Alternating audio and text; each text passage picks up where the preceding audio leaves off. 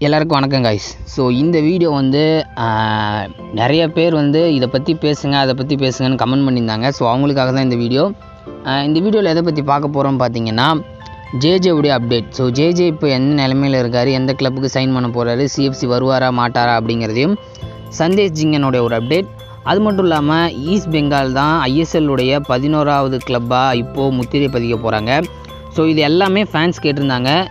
இது எல்லாத்தையும் பற்றி தான் இந்த வீடியோவில் பார்க்க போகிறோம் ஸோ வாங்க வீடியோக்குள்ளே போகலாம்.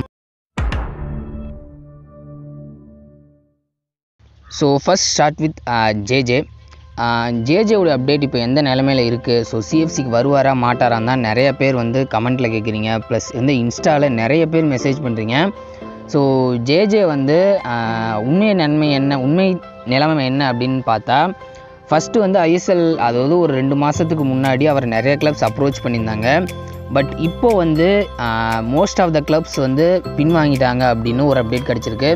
ஸோ எதனாலன்னு பார்த்தீங்கன்னா அவருக்கு வந்து இன்ஜுரி அந்த காரணத்தினால எல்லா கிளப்ஸும் அப்ரோச் பண்ணுறத விட்டுட்டாங்க அப்படின்னு சொல்கிறாங்க இன்ஃபேக்ட் பார்த்தீங்கன்னா முன்னே ஈஸ்ட் பெங்காலே வந்திருந்ததா ஒரு ரூமர் வந்திருந்தது.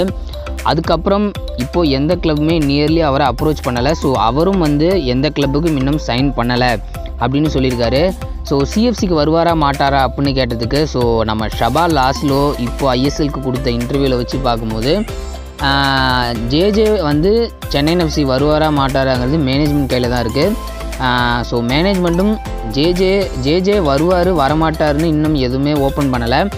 ஜேஜேவை வச்சும் நம்ம ஸ்குவாட் பில்ட் பண்ணலை. ஜேஜேவையும் நம்பி இல்லை. ஸோ நம்மக்கிட்ட ரஹீம் அலி அமன் சேத்ரி இந்த மாதிரியான நல்ல ஃபார்வர்ட்ஸ் இருக்கிறதுனால ஜேஜே வந்தாலும் வரலனாலும் சென்னை எஃப்சி சேஃபர் சைடில் போகணுன்ட்டு சைனிங்ஸ் பண்ணிட்டாங்க. அது மட்டும் இல்லாமல் ஷபா லாஸ்லோவுக்கு ஜேஜே கொண்டு வரணுங்கிற விருப்பமும் இல்லை வேண்டாங்கிற விருப்பமும் இல்லை. ஸோ அவர் வந்து எதுவுமே சொல்லவே இல்லை. மேனேஜ்மெண்ட் தான் முடிவு பண்ணணும். இல்லைனா ஜேஜே தான் முடிவு பண்ணணும். நிறைய பேர் வந்து ஜேஜே லீவ் ஆக போகிறாரு சென்னை எஃப்சி விட்டு அப்படின்னு தான் சொல்கிறாங்க இப்போதைக்கு ஜேஜேவை பற்றி கிடச்சிருக்க அப்டேட் வந்து இதான். மோர் ப்ராபபிள் அவர் வந்து லீவ் ஆகலாம். இல்லைனா இந்த வருஷம் எந்த கிளப்புக்கும் சைன் பண்ணாமல் கூட இருக்கலாம். ஸோ சைன் பண்ணாமல் இருக்கிறதுக்கு வாய்ப்பு இல்லை.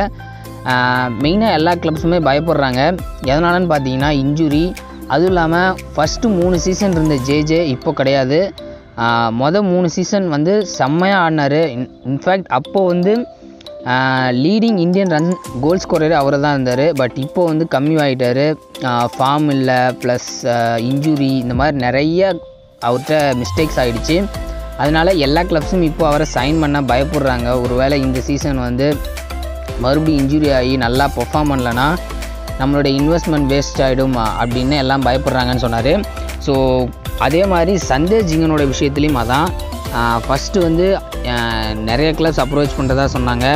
அதுக்கப்புறம் ஏடிகே ஏடிகே மோகன் பகான் பிஎஃப்சி அப்புறம் Mumbai City FC FC Goa சொல்லியிருந்தாங்க.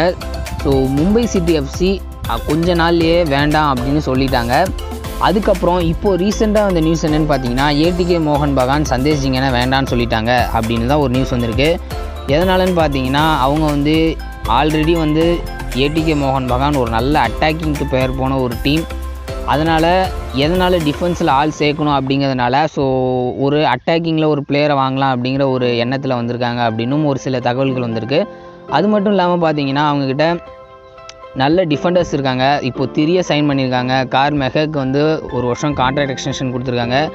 ஸோ எதுக்கு இன்னொரு டிஃபெண்டர் அப்படின்னு யோசிக்கிறதா ஒரு தகவல் வந்திருக்கு. அதுவும் இல்லாமல் சந்தேஜிங்கன் ஃபார்மில் இல்லை இன்ஜுரி அப்படிங்கிறதுனால பயப்படுறாங்க அப்படின்னு சொல்லியிருக்காங்க. ஸோ பிஎஃப்சிக்கு ரொம்ப ஃபேவராக இருக்குது அப்படின்னு சொல்லியிருக்காங்க. பிஎஃப்சி இல்லைனா எஃப்சி கோவா ரெண்டுத்தில் ஏதோ ஒன்று தான் போவான்னு சொல்லியிருக்காங்க. பட் நேற்று வந்து ஒரு லீக்ஸ் படி பார்க்கும்போது ஈஸ்ட் பெங்கால் வந்து அவருக்கான மொத்த சேலரி கேப்பான ஒன் பாயிண்ட் ஃபைவ் க்ரோஸையும் கொடுத்து சந்தேஷ் ஜிங்கனை வாங்க போகிறதா ஒரு தகவல் வந்திருந்தது. ஸோ இதை பற்றி மார்க்கஸ்ட்டை கேட்டும்போது மார்க்கஸ் இது பொய் அப்படின்னு சொல்லியிருந்தார். அதுக்கப்புறமா நம்ம எதை பற்றி பார்க்க போகிறோம் பார்த்தீங்கன்னா East Bengal to ISL confirmed கிட்டத்தட்ட ninety nine point nine percent confirmed அந்த பிட் எதுக்கு ஓப்பன் பண்ணியிருக்காங்கன்னா ஈஸ்ட் பெங்கால் உள்ளே வரணும் அதுக்கு நாங்கள் பிட் ஓப்பன் பண்ணியிருக்கோம் அப்படின்னு தான் உண்மையான காரணமே அதான். பட் அதை விட்டுட்டு சம்மந்தமே இல்லாமல் வேறு வேறு சிட்டியெல்லாம் போட்டு எதுக்கு இதில் லிங்க் பண்ணி விடணும்னு தெரில ஈஸ்ட் பெங்கால் நிச்சயம் உள்ளே வந்துடுவாங்க ஏன்னா அவங்களுக்கு மம்தா பானர்ஜியோட சப்போர்ட் இருக்குது ஸோ அவங்க ஃபோர்ஸ் பண்ணதுனால தான் இப்போது ஈஸ்ட் பெங்கால் உள்ளே அலோவ் பண்ணியிருக்காங்க எஃப்எஸ்டிஎலும் ஸோ இந்த வருஷம் பதினோரு டீம் அடுத்த வருஷம் இன்னொரு டீம் வந்து புதுசாக வரப்போகுது. பார்ப்போம் என்ன நடக்க போகுது அப்படிங்கிறது. ஐஎஸ்எல்ல இன்னும் கிளப்ஸ் கூட்டிகிட்டே இருக்க போகுது. ஸோ நமக்கு ஒரு லாங் டோர்னமெண்ட் கிடைக்கும் அப்படிங்கிறதுல சந்தேகமே இல்லை. ஸோ அவ்வளோதான் கைஸ் இந்த வீடியோ இதோட முடிவுக்கு வருது. அந்த வீடியோ பிடிச்சிருந்துன்னா மறக்காமல் ஒரு லைக் கொடுங்க. உங்கள் ஃப்ரெண்ட்ஸுக்கும் ஷேர் பண்ணுங்கள் நம்ம மற்றொரு வீடியோவில் சந்திக்கலாம். அது வரைக்கும் நன்றி. Tell me pretty lies, look me in the face. Tell me that you love me, even if it's fake.